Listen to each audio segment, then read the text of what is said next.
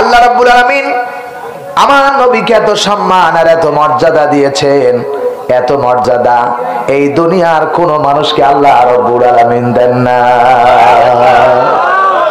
আমার ভাইয়েরাম আল্লাহ রাব্বুল আলামিন হযরত মুসা নবীকে জমিনে পাঠালেন, ঈসা নবীকে পাঠালেন, দাউদ নবীকে পাঠালেন, জাকারিয়া নবীকে পাঠালেন, নূহ নবীকে পাঠালেন আদম নবীকে পাঠালেন। সব নবীদের আল্লাহ রাব্বুল আলামিন নাম ধরে ধরে ডাকলেন ইয়া মুহাম্মদ।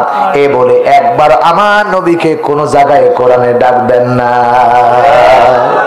মুসা নবীকে ডাকতে বলেছেন ইয়া মুসা এই দিকে আয়।